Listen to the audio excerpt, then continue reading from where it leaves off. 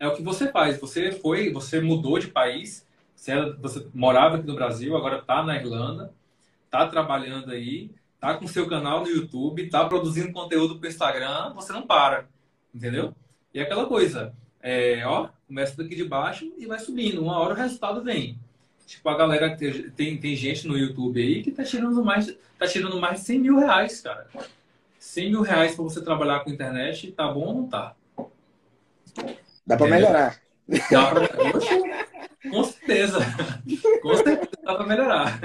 Só que é aquela coisa, você vai melhorando aos poucos. Ó. Você melhora aos poucos, né? Aquela coisa que você chega aqui já no zero e já vai para o 100 de uma vez, não. É zero, um, dois, 5, 20, até você chegar lá em cima, entendeu? E assim, é, um dos, dos mercados que mais dão dinheiro mesmo para você produzir conteúdo hoje é o YouTube.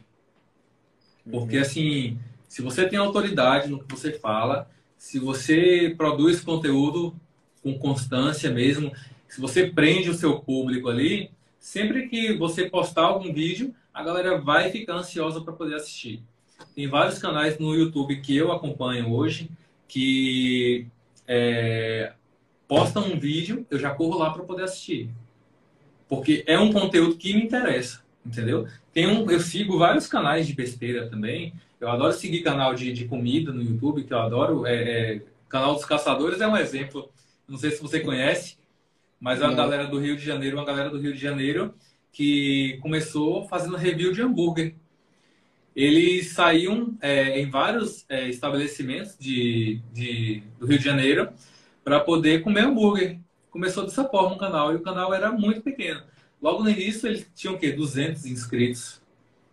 E aí é, iam, iam hoje num, num, numa, numa hamburgueria, aí botava sua câmerazinha, seu tripé ali, pegava seu hambúrguer, comia, dava opinião para o público e a galera começou a adorar isso, entendeu? Começou a adorar. Hoje ele já, já tem mais de um milhão de inscritos no, no, no YouTube.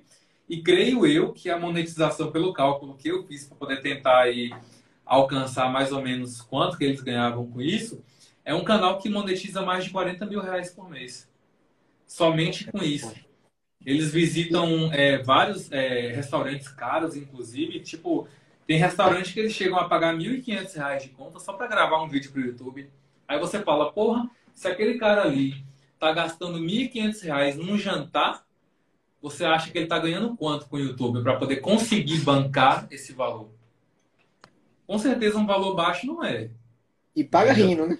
Porque paga rindo. A, a, afinal de contas, ele tá se beneficiando com aquilo ali, porque ele tá comendo, né? E ele tá ganhando dinheiro, tá ganhando fama. Fora publicidade, que esses canais grandes fazem muita publicidade, entendeu? E às vezes chega a pagar 5, 10 mil reais numa publi, no Instagram, no, no TikTok. Então, é sempre você, sabe, chegando muita informação ali para você poder é, conseguir, sabe, administrar isso tudo de uma vez.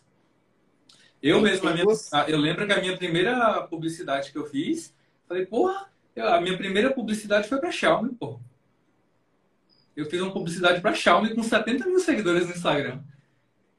Aí, tipo, a partir da. Pô, eu tenho, tenho uma, até um destaque aí na, no meu Instagram, que eu fui convidado para poder é, participar da inauguração da primeira loja da Xiaomi no Brasil, aqui em Salvador. Aí, Nossa. depois da Xiaomi, vieram empresas, é, é, vídeos que eu fiz, inclusive para a galera de marketing digital, lá no TikTok que eram vídeos que eu conseguia mesclar o meu conteúdo com, o conteúdo da pessoa e cobrar um valorzinho em cima disso, entendeu? Uhum. Tipo, claro, não é, não é um valor de, de uma Virgínia da vida que tem 20 milhões de seguidores, 30 milhões, mas era metade de um salário para poder produzir um vídeo. Entendeu? Uhum. Então é aquela coisa, você busca aquele conhecimento ali e usa a seu favor. Quanto mais você usa, mais dinheiro você vai ganhar. E aí, massa! Hoje eu vou falar para você sobre três livros que você deveria ler. Antes, é importante colocar aqui, se você que está me assistindo não gosta de livro, por exemplo, não tem